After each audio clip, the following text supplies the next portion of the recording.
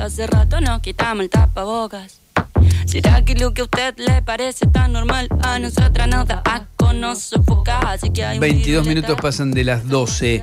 Eh, yo sé que traes otro tema, Mariana, bienvenida primero. ¿Qué tal, Rey? ¿Cómo andan? Eh, pero me estabas contando fuera de micrófono, quedamos todos impactados, Sí. porque va a tener seguro un recorrido informativo muy grande, por lo menos hacer un- a una mención, lo que nos contabas a nosotros, presten Sí, atención eh, es a un un caso, caso- en Francia, ¿no? Sí, está conmocionando a Francia desde el lunes. Es un gran juicio en el sur, en Aviñón, eh, contra 51 hombres. Eh, tiene que ver con una violación, pero con unas particularidades. Resulta que una mujer la llaman en el 2020 eh, en la comisaría local y le cuentan, usted está siendo violada, su marido invita gente, hombres, a, a que vengan a su casa. Imagínate, la mujer no tenía recuerdo de nada. ¿Qué pasaba? El tipo lo que hacía, están casados hace, estaban casados, ya están divorciados, ¿no? Eh, desde 50 años, ¿no? Una pareja consolidada, con sus hijos, iban los fines de semana y hacían la reunión familiar. El tipo invitaba, la drogaba, la dormía, invitaba a hombres eh, a que vinieran a violarla. Y filmaba esas escenas. Y, y ella no registraba No esto. tenía ningún recuerdo. Lo que sí aparece es que ella había perdía el pelo, perdía el peso, tenía problemas de memoria y los familiares pensaban que era un principio de Alzheimer, que podría ser. Y resulta que descubre esta trama siniestra, siniestra. Qué ¿Qué, pasó?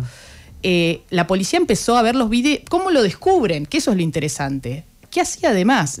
Eh, iba a los centros comerciales y filmaba por debajo de la pollera, que es un tipo de delito que acaba de ser tipificado en Gran Bretaña. Eh, ¿Viste los que filman por debajo de, de- de las faldas de las mujeres para grabarle los glúteos, los genitales, ¿no? Eh, acá ha pasado Y- y también. salta- y salta por Entonces eso. tres mujeres lo denuncian. Y a partir de ahí a él le secuestran el celular, la computadora y empiezan a mirar la computadora y encuentran una carpeta sin eufemismos que decía abusos. Y en esa carpeta empiezan a ver, pero 20.000 horas de filmaciones Qué donde aparecían estas escenas. Y lo que hace la policía, empieza a identificar quiénes eran estos hombres. Y encuentran que hay tipos desde 26 a 70 y pico de años. Este, este hombre, o sea, el marido hoy tiene más de 70 años, la mujer también. Eh, era el buen vecino, era electricista jubilado, ¿no? Nada hacía sospechar locura, semejante trama tan Parece siniestra. ficción.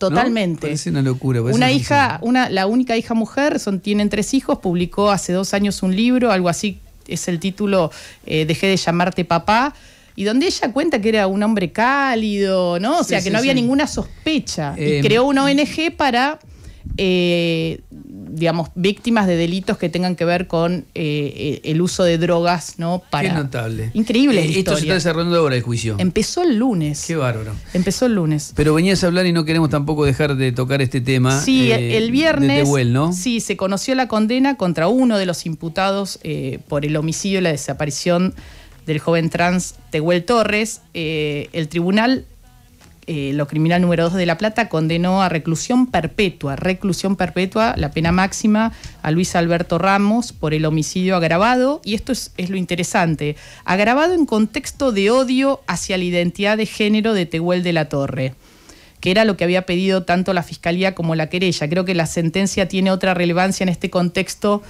en el que desde el gobierno se quiere instalar el discurso de, que no existen las orientaciones o, o las identidades de género diversas, como bueno, lo escuchamos a Cuño Libarona la semana pasada en el Congreso. Eh, y esta es la primera vez que la justicia de Argentina trata el asesinato y la desaparición de una masculinidad trans.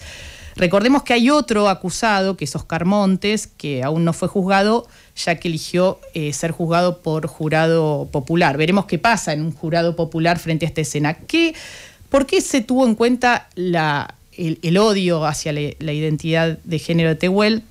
El tribunal sostuvo que hay evidencias de que, eh, bueno, lo trataba despectivamente por su eh, identidad de género de masculinidad trans, ¿no? Diciéndole chica chico y algunas otras frases.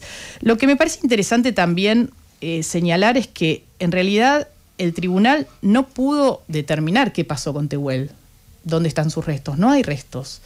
Eh, Esto confirma que se puede condenar aún cuando no está el cuerpo, ¿no? Que es algo que se venía discutiendo desde la época de la dictadura militar. Sí, y lo que sí hay una causa abierta que le impulsa el CELS y otra organización para que se lo siga buscando, porque lo que se plantea es que, bueno, es el Estado quien debe buscar una persona desaparecida. O sea, y esa causa lamentablemente eh, no tiene movimiento. Eh, es decir, en concreto el Estado no está haciendo nada para encontrarlo. La mamá de, de Tehuel, acompañada por organizaciones LGBT, manifestó, bueno, estar conforme con la sentencia, pero planteó la necesidad de que se lo siga buscando. ¿no? Digo que más allá de, esta fuerte condena contra Ramos, la pregunta sobre dónde está Tehuel todavía no tiene respuesta. Mariana Carvajal, en la inmensa minoría.